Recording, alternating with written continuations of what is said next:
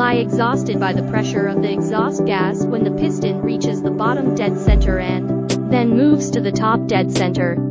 The exhaust gas will continue to be forced into the atmosphere when the piston reaches near the top dead center. The exhaust stroke ends in the exhaust stroke.